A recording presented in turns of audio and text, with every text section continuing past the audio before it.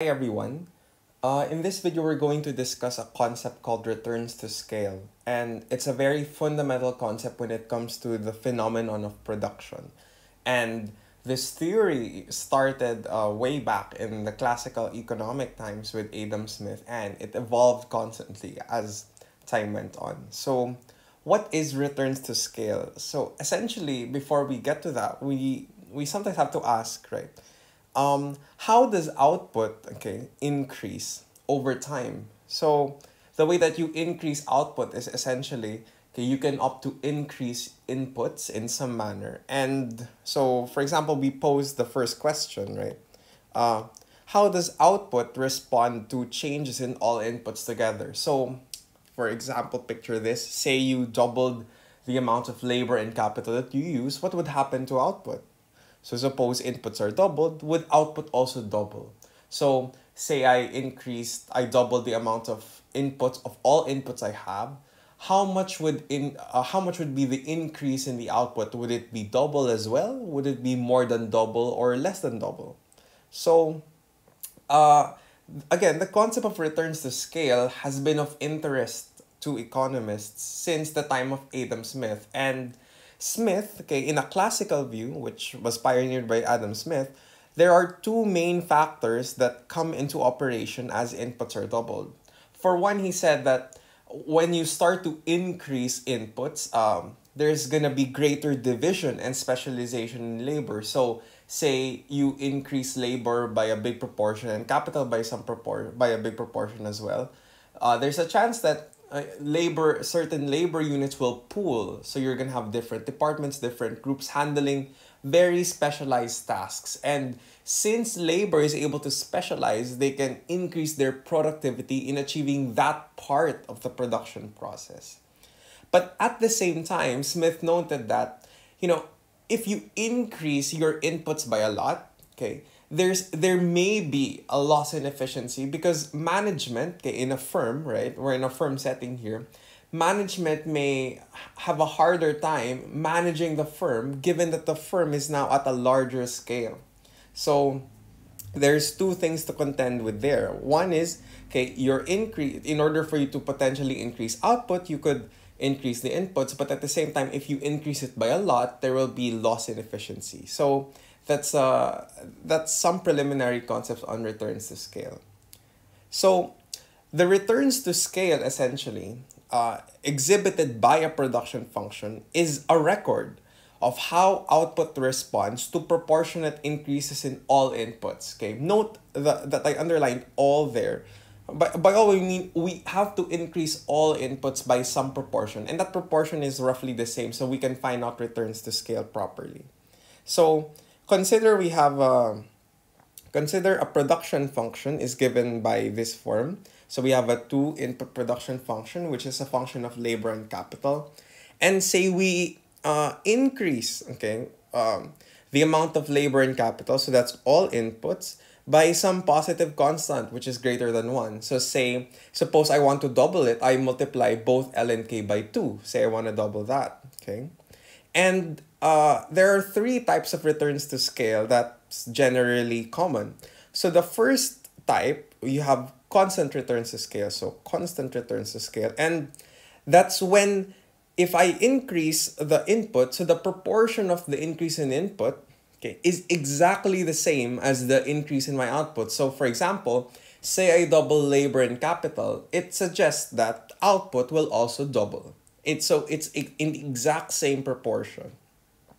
Now, there are the other two types. So you have decreasing returns to scale, which means that if you increase, if you double the inputs, say you double input uh, the inputs which are labor and capital, the increase in output is not as big as doubling. So maybe it just increases by 1.5, 1.2, and so on. It's not a double. Okay, and then lastly, you have increasing returns to scale, which suggests that the proportion increase in output is greater than the proportion of increase in input. So say you double labor and capital, well, the output would uh, more than double. So maybe times 2.5, times 3, times 4, and so on. So greater than 2 if it's a doubling we're talking about. So again, we have three types. Constant, okay, decreasing and increasing returns to scale. Okay, now, we can represent this better through the use of an isoquant, which we discussed earlier. So note, uh, we have isoquants uh, in all three of these graphs. Okay, we have an isoquant for the level of output 100 and 200 and the 200 is in orange so 100 is here 100 is here so initially if the firm used 100 units of capital and 100 units of labor they would all be able to produce okay that 100 uh, units of output so that level of production of 100 now if i double the amount of capital so that's from 100 to 200 and 100 to 200, under constant returns to scale, the output should double as well. So you see that 100 becomes 200 clearly there. So this is the illustration that it looks like under constant returns to scale. Okay, so it increases since I doubled this, okay, and I also doubled this, the proportion increases also a doubling. Now, it's decreasing returns to scale if, for example, again, I doubled the out, I doubled the amount of labor, so this is doubling, and I also doubled the amount of capital. But notice the increase, okay, the increase in production was only times 1.5, okay. So it's less than a doubling. So in constant returns to scale, this would have been here, okay, but if it's decreasing returns to scale, it did the the total output didn't increase by that much. Okay, so uh, there's something missing there. And last, we have increasing returns to scale, which um, which is here. So again, I doubled the amount of labor and then I doubled the amount of capital. And you can see that it's already here at Q is equal to 250 instead of just 200. So the increase was times 2.5. So it more than doubled the output. So Th that's a graphical comparison of constant, decreasing, and increasing returns to scale.